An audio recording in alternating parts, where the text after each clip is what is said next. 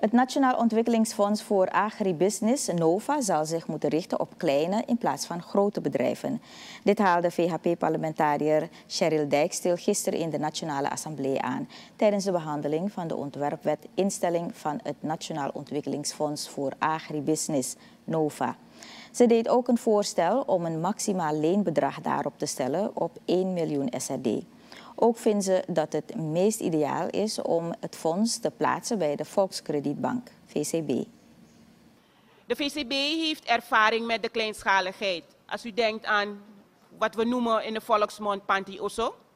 Ze hebben dus expertise in microbeleid en ze zijn laagdrempelig. En de Landbouwbank is opgegaan in een VCB-bank. Dus ik neem aan dat er voornamelijk die technische kennis voor agrarische kredieten dat dat bij de VCB aanwezig is om de mensen te begeleiden. Dijksteel haalde ook aan dat de leningen moeten worden verstrekt met een onderpand. Echter zegt haar collega Mohamed Mohab Ali dat er naar mogelijkheden moeten worden gekeken om mensen binnen de agrosector een lening te geven zonder onderpand.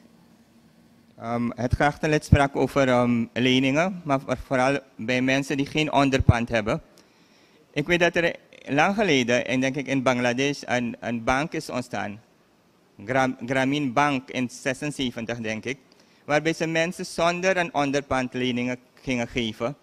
Dus het zou misschien goed zijn, handig zijn, om te kijken hoe zo'n bank heeft gewerkt en wat de procedures waren bij die bank. Met deze wet wil het parlement de bedrijfsvoering binnen de agrosector vergroten en een betere concurrentiepositie voor de boeren creëren.